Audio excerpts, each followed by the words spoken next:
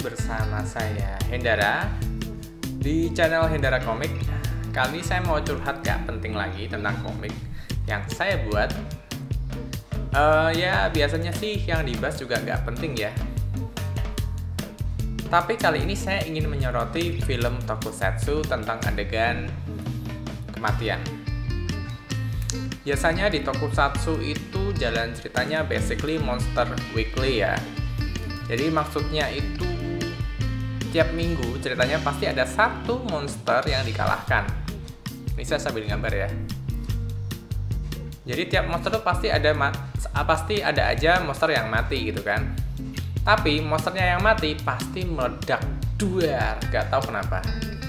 Kadang saya mikir apa monsternya suka nyemil petasan atau gimana.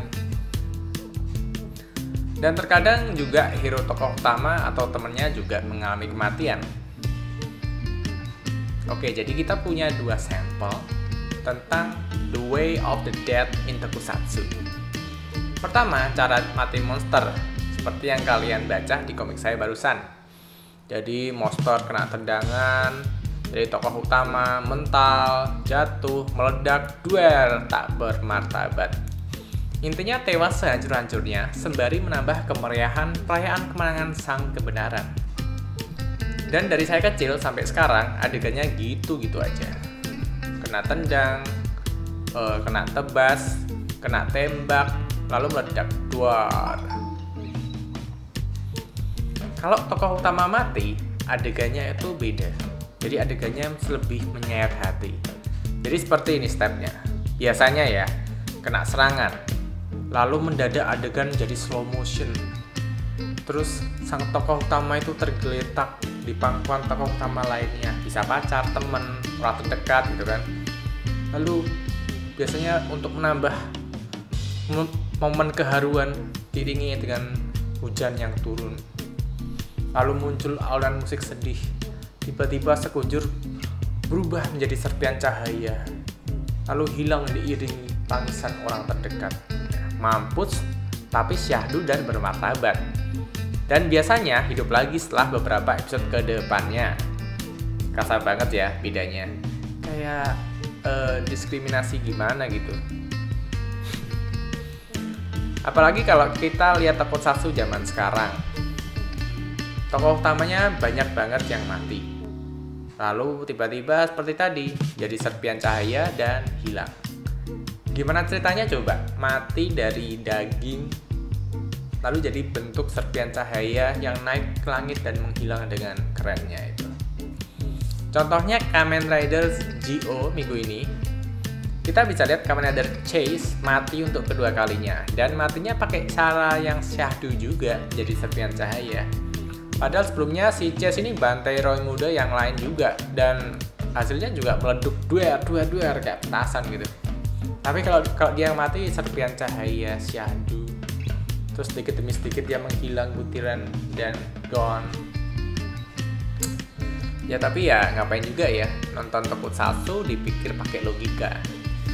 Cuma kadang saya yang sudah nggak bisa dibilang remaja ini jadi berpikir secara kritis. Mungkin juga udah ketuaan kali ya nonton satu soalnya emang basically tontonan tokusatsu itu tontonan yang ramah anak sih. Tapi gimana lagi ya namanya doyan. Ya nonton terus. Kayak mau aja dikatarin berkali-kali. Sekalinya dikasih rating dewasa masuknya gore contohnya nih Kamen Rider Amazon. Ya bagus sih filmnya. Saya suka dan saya nonton season 1 dan 2 nya tapi masa tiap kali uh, tiap kali nonton tokusatsu dewasa masuknya adegan gore kalau nggak gore pasti nudity. Kayak orang dewasa itu macam psikopat semua apa ya? Kalau saya sih lebih suka cerita yang lebih serius gitu ya. Nggak perlu yang gimana gimana nggak perlu adegan yang berdarah darah asal ceritanya serius dan mungkin sedikit berat itu oke okay lah. Untuk uh, bumbu-bumbu gore ya boleh lah. Cuma nggak nggak menu penting gitu seperti yang penting ceritanya yang gelap dan dark gitu. Pengennya sih gitu. Ah udah deh gitu aja ngomong ngawurnya hmm, jadi tadi yang saya omongin just kidding aja ya guys curhat aja. Kalau ada salah jangan dilaporin ke polisi ya atas tuduhan penistaan Kamen Rider. Soalnya saya ini juga Kamen Rider fans banget itu nonton dari kecil sampai sekarang bahkan masih beli action figurnya. Jadi jangan lapor-lapor polisi ya. Dan jika channel ini bermanfaat untuk kalian, bolehlah di subscribe biar saya tambah semangat bikin komiknya.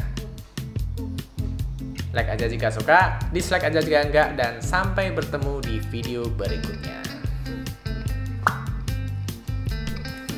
Mari kita menggambar lagi. Mari kita menggambar lagi. Semangat semangat.